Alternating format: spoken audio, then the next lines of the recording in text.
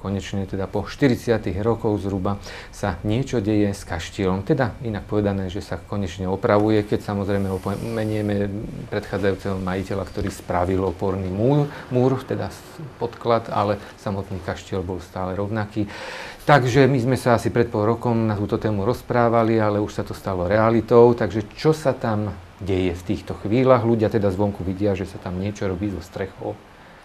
No tak nie len zo strechou, asi všimli, tak sa vlastne celé tie kombinové telesa opravujú na novo, vysparovali, zastabilizovali sa, pretože už e, sme sa pustili do toho projektu odstránenia havarijného stavu, ktorý vlastne nám e, odsúhlasil aj pamiatkový úrad v Banskej Bystrici s tým, že celkové náklady by tam mali byť e, cez 120, medzi 120 až 130 tisíc, neviem, lebo tam boli aj niektoré, niektoré také veci, ktoré nesúvisia navzájom, e, alebo teda aj iné, iné veci, ktoré sa tam riešia, alebo s inými dodateľmi, alebo iný druh prác. A tie dve nosné to sú rekonštrukcie telies, odstránenie havaných telies, ktoré nemajú žiadnu ani kultúrnu, ani pamiatkovú hodnotu, to znamená, že asi niekto všimol, tak dve telesa kombinované boli odstránené a tieto dve sa na komplet e, reštaurujú. Takže dokladá sa ten spadnutý oblúk, ináč to, ono to vyzerá, že to nie sú až tak e, veľké práce, ale to sú dosť veľké práce, lebo asi bol pri tých komínových telesách, tak to sú slušné komínové telesa, tam sa do toho zmestíte vy, možno, že aj s kamerou znútra. lebo kedy si sa tak čistili. Takže tieto sa celé rekonštruujú, rekonštruuje sa protetický strop, to znamená, že všetky tie krokvy, všetky tie spoje, rôzne začapovania, ktoré boli prehnité, zahnité, e, pomôrne hrady, ktoré tam boli, tie sa komplet e, rekonštruujú a a bol už tam nainštalovaný keramický strop, lebo ten strop sa prepadol. A ten, ktorý sa neprepadol, tak na základe toho dendrologického posudku bolo zistené, že tak napadnutý hnilobou, že by jednoducho bola otázka času, kedy spadne takže e, tým pádom sa odstránil. Samozrejme tento postup tiež e, svojim rozhodnutím nám potvrdil pamiatkový úrad, pretože on vám musí dať na všetko. Tam, keď nájde, nájde pamiatkový úrad historicky cenný meter, e, bežný meter nejakého hranola alebo hrady aj na krove, tak, tak skutočne robí sa tak, že vypilujú sa len, len uhnité časti, tam, kde sa nepotvrdila hniloba, Takže keby ste aj teraz možno tam išli, tak by ste videli, že, že skutočne pamiatka je takýmto spôsobom. Možno, že Možno, že by to bolo asi, neviem, ja nie som nejaký odborník eh, na tieto práce a neviem ani si to nejak prekalkovať, ale neviem, či by to nebolo jednoduchšie celé to dať dole a, a na novo postaviť, lebo je to veľmi pracné a tí, tí chlapci, ktorí to robia, tak ako si zaslúžia veľký obdiv za takýchto podmienok robiť takúto reso, eh, E, rozsiahlu rekonštrukciu a ešte takýmto spôsobom protetickým, že teda si nevyrábajú ten krov sami na novo, je tam presne postup aj projektanta, to je projekt na, na obnovu kaštieľa a odstránenie e, havarijného stavu. To znamená presne popisným spôsobom krok po kroku. Čo najprv vypíli, potom to odloží, potom tam niečo založí, potom to podloží, je, takýto máme projekt tam spravený za drahé peniaze samozrejme, pretože mňa už ide šlak hodiť. My už tam e, toľko peniazy, teda mesto, ja, my ako všetci e, sa tam už investovalo, že že už ostávam z toho nervózny a, a vidíte, že ešte len takýto rozsah prác tam ideme robiť. A to celá rekonštrukcia, taká tá celá obnova, hej, bude vlastne nasledovať až po odstranení tohto havarijného stavu, lebo bez odstranenia tohto havarijného stavu nie je možné E, nejak e, vyčkávať s projektom a, a, a so žiadosťami na nejaké granty. Jednoducho ten havaný stav bol tak akútny, že tak ako sa z ničoho nič prevalilo tam e, to horné poschodie, tak jednoducho to hrozilo, že sa to stane aj s krovom. To aj teraz, pokiaľ sa tam pohybujú tí, čo robia tie, tie sanačné práce, tak ako musia veľmi opatrne e, v tom, lebo, lebo v mnohých miestach e, sa napríklad až, až teraz pri tej rekonštrukcii, pre vymianie tých keramických stropov prišlo na to, že, že v tých múroch sú aj ďalšie nejaké hrady, ktoré nebolo predtým vidieť, neboli obnažené a sú na komplet zhnité, na ktoré bol miestami kotvený ten krov. Takže tá stavba bola ako tá stavba je teda dosť komplikovaná a, a komplikuje to to, že, že vlastne nám to nariadili protetickým spôsobom. Jedine e, čo, čo teda upustili od, to, od nevyhnutnej výmeny len toho, čo je poškodené, tak poky, e, zmenili ten názor na tých stropoch, lebo sú už keramické stropy. E, pôvodne chceli len tie, aby sme zase vymenili za tie hrady z no ale keď sme mali ten posledok, že vlastne všetko je to na spadnutie a že to je tou ničou hubou napadnuté, tie stropy, tak sme to museli celé odstrániť. Celé, aj tie, ktoré ešte nespadli. Hej. Takže jedine tam zmenili oni názor na, na, na ten postup. Technológiu. Technológiu tej, tej opravy. Takže dúfam, že sa mm, s týmto vysporiadame, zafixujeme ten stav, aby do neho netiaklo, aby už nič neprepadalo a, a budeme robiť ten projekt, len dúfam, že nás nebudú nútiť celý kaštel takto opravovať, lebo Viete, až budeme musieť špachtlami do, tie rímsy zase do, dopucovať nejakou vápenou maltou, tak uh, neviem, asi, asi si zoberiem nejakú neplatené dovolenku, lebo by som sa na to aj mohol dívať. Je to strašne prácne, je to strašne prácne a, a nakoniec takáto, takéto rekonštrukcie tým reštaurátorským spôsobom sú strašne zdlhavé a neskutočne drahé. Takže dúfam, že sa aj s tým projektantom zhodneme aj s pamiatkovým úradom, že, že použijeme také najefektívnejšie spôsoby opraviť tie kultúrne pamiatky, aby sme, sme to mohli za prvé za a, nejaké primerané finančné prostriedky zrekonštruovať a dať aj do užívania. Pretože to je len ten strešný pláž, teraz vidíte, že koľko tam je práce, to sú veci klampiarské, komíny, statika, stropy, odvodnenie povrchovej vody a to sme len v tejto časti, potom čo s celým objektom a čo ešte potom s interiérom a aj s exteriérom. Ako to, to je... Ro, roky. Mm, áno, ako sa hovorí ľudové, roboty ako na kostole, no my máme roboty ako na kaštieli. no a táto etapa, nazvime to teda etapa, tá sa bude praktizovať, dokedy je teda plán, že by sa to malo ukončiť táto... V marci by sme strešná. mali byť hotoví s týmto, s tým, aby mohol byť teda ukončený tzv. vyhlásený havaný stav na tejto pamiatke, lebo skutočne tam už hrozilo to, ja som mal veľmi vážne obavy, aby, aby tie obrovské klimatické výkyvy, ktoré boli túto zimu, lebo tá bola extrémna, však viete, padali strechy na nových športových halách a nie ešte na takomto starčekovi. A pritom tým, že som vedel, že skutočne ten, ten statický posledok sme už mali v rukách a ten jasne hovoril, že je nevyhnutné zahájiť sanačné práce a tak ďalej a tak ďalej. Takže ja som strpal, že aby sa nám to nestalo. Takže budem veľmi rád, keď toto budeme mať za sebou, že už nebude hroziť ani nejaký dáž alebo výchor do konca marca. A už potom, potom uh, máme v úvodzovkách čas na, na normálnu uh, prípravu projektu, kde by už projektanti mali zohľadniť všetky pripomienky pamiatkárov, požiadavky nás na ten zámer, čo tam chceme mať, aj teda čo sa týka samotnej stavby a potom aj toho exteriéru tých, tých eh, spevnených ploch. Čiže keď sa teraz tak jednoducho spýtam, tento rok toto a už nič viac, hej? Tak? Uvidíme, uvidíme. Ako, ja by som bol najradšej, keby sme pokračovali ďalej, ale... Uh, no, peniaze sú? Uh, tak my by sme mohli, my by sme mohli získať peniaze. My, my nemáme až taký problém, čo sa týka ale úver, hej? Tak, e, finančných prostriedkov a tzv. Tých, e, tých dlhých peňazí, pretože tie banky, tie banky nám to jednoducho núkajú, aby sme to využili, pretože e, ja zase zastávam ten názor, že čakať ďalších 5 rokov na nejaké projekty, granty, že vám to bude padať, tak e, oprava, ktorá teraz by možno stála 700 tisíc, tak o 5 rokov by stála 10 krát toľko. Takže ja som zastanca radšej toho, že čo sa vám potom nevyplatí lepšie zobrať úver, ako stále čakať na niečo, ako čakali títo predchodcovia, predchodcovia týchto predchodcov a nakoniec sme to asi uh, zachránili v poslednej chvíli. Neviem, či nebolo už po 12, nie za 5 minút 12.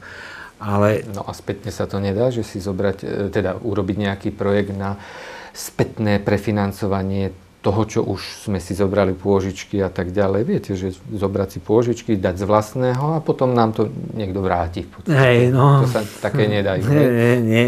Lebo potom ťažko poviete, že čo chcete s tým robiť, lebo oni už povedia, že však vy, vy ste to spravili. No hej, ale hej. za vlastné a už by sme len no, vrátiť peniaze potrebovali. Tak ako oni povedali, ako, že my ideme pomáhať tým, ktorí tie peniaze ešte nemajú, lebo oni povedia, no tak dobre, však keď vám dali úver, tak asi nie ste na tom tak finančne zle lebo banky tie, to sú takí najlepší, tí, ktorí vás vedia posúdiť a, a povedať áno, dáme vám peniaze. Preto e, ja hovorím, že my ako mesto, ako Žarnovice nemáme problém s peniazmi z bankových inštitúcií, lebo oni vidia, že my, my sme e, solventný partner a, a na, naša schopnosť e, e, plniť si svoje záväzky je, je veľmi dobrá, takže oni veľmi radi nám núkajú, oni nám hovoria, koľko potrebujete, že to je naposledy, není problém, že koľko odhadujete toho opravu. No ja hovorím, ja budem rád, keď skupov sa tam zmestíme aj s tými opravami do, nejakého, do nejakého miliónu.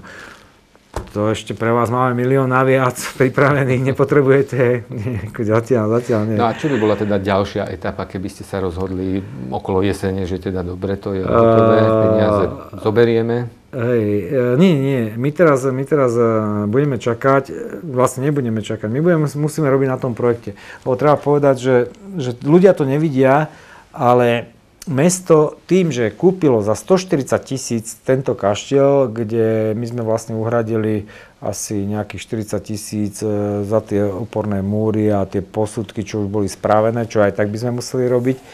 Takže to si vlastne napočítali aj tí bývalí majiteľia a to aj museli vrácať ako granty, lebo oni, oni keď predajú takú nehnuteľnosť, tak to musia vrátiť, tie peniaze. Ale e, aby som sa vrátil k tomu, že, že mnohí ľudia ani nevidia, že aké peniaze to stojí. Napríklad taký projekt, o ktorom sme sa bavili, len, len aby ste akože, aby vám pamiatkári povolili, tak musíte mať presne ten postupný projekt, že čo tam idete robiť, keď idete odstrániť havárny stav. Len takýto projekt na odstránenie havárneho stavu to zase bola položka e, s, s jedným posudkom, s ďalším posudkom a ja neviem všetkým e, za 10 tisíc. Hej, zoberte si, že ešte e, nemáme e, uhradený e, reštaurátorský výskum. To znamená ďalších 6 tisíc.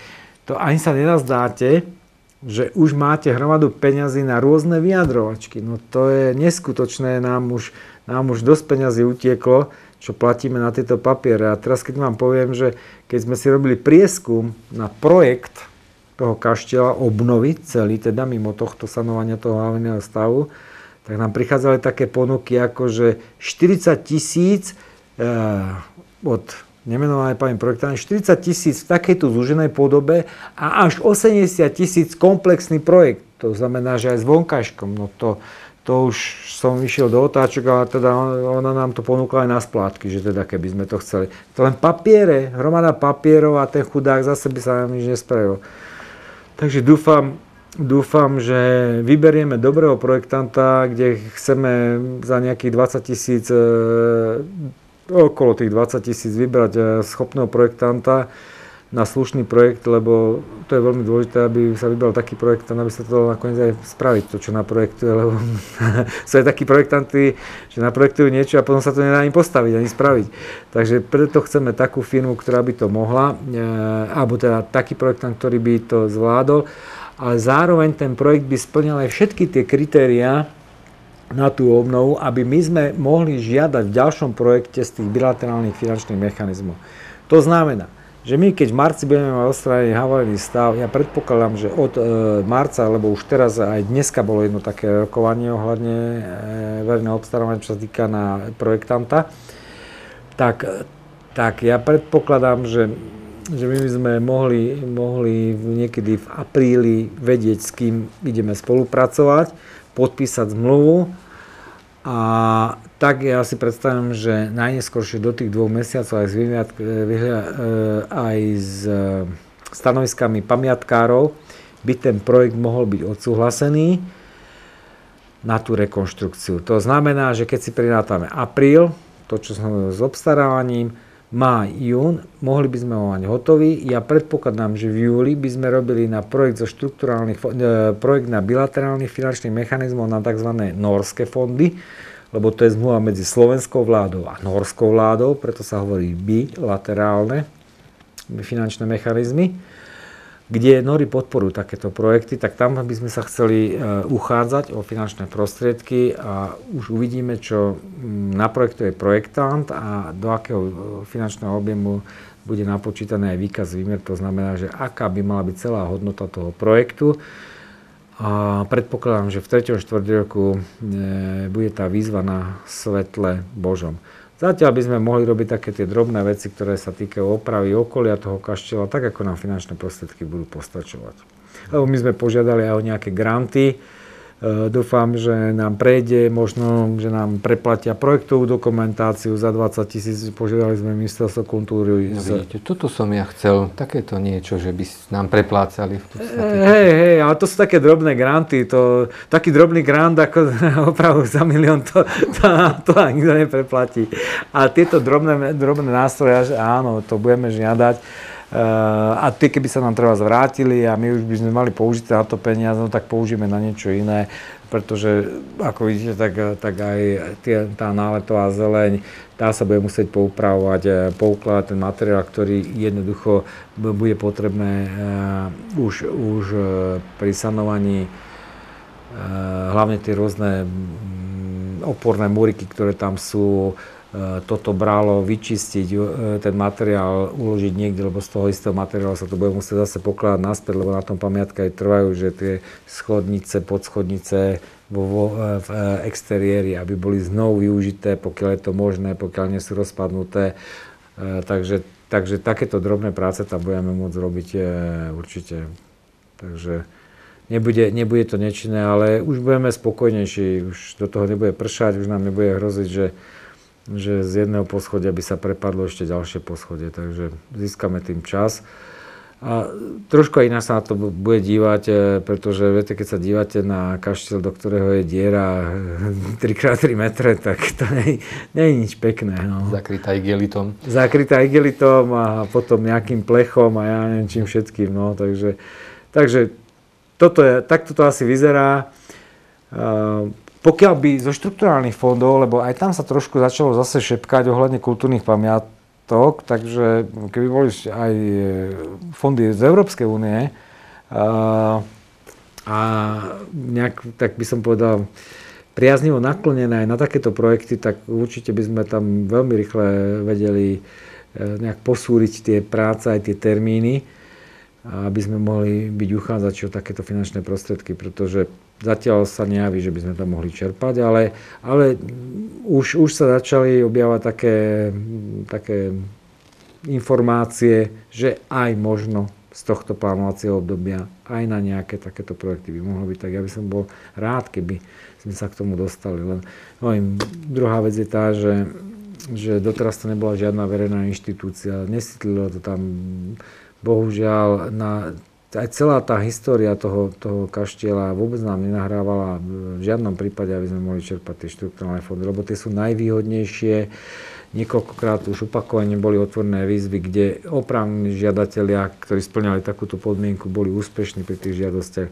Ale tak hmm, ja si myslím, že využijeme všetky, mo, všetky možné dostupné prostriedky a ja, keď bude treba, tak tam budem chodiť aj každý deň, aj keď som spomínal, že tam nechodím rád, ale keď, keď mi povedia, že, že aj keď nechodíte rád a budete tu chodiť každý deň a tie peniaze nakoniec, tak ja tam budem chodiť, kľudne, ja s tým nemám problém. Budem chodiť na týždňovky do Bratislavy. ale, ale hovorím, že pri tom, pri tom e, budeme sledovať ostatné možné, možné grantové mechanizmy. Viete, možno keď sa nám podarí tam 20 tisíc, tam 30 tisíc získať z týchto grantových mechanizmov, tak aj to sú peniaze, ako dá sa niečo za to spraviť, možno dá sa pokročiť s tými prácami. Takže asi takto.